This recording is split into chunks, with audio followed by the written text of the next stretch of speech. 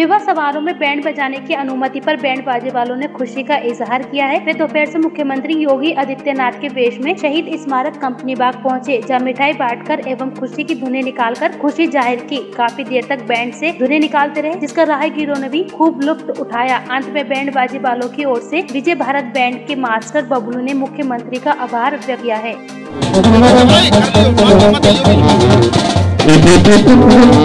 मेरा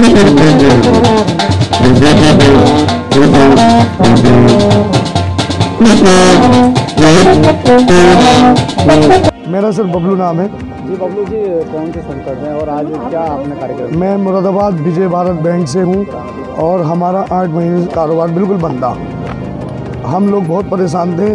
कुछ अफवाहें उड़ी थी। अभी दो चार दिन पहले के बैंड बाजा बंद हो रहा है। उस पर रोक लग रही है पूरी तरीके से।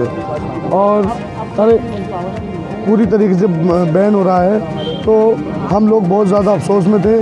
मगर कल योगी जी का जो बयान आया है, जो अखबार में हमने न्यूज़ देखी, जो टीवी पे उनकी न्यूज़ देखी, उन्होंने बैंड बाजे पे की चीज़ पे रोक नहीं है। सारी रोकें उन्होंने स्पष्ट कर दी, हटा दी और सब कुछ खोल दिया उन्होंने।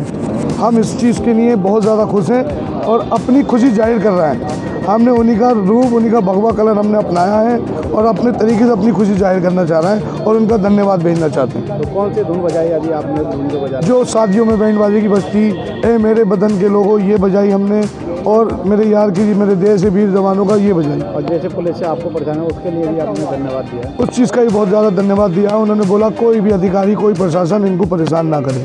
हम उनका बहुत बहुत ज़्यादा धन्यवाद।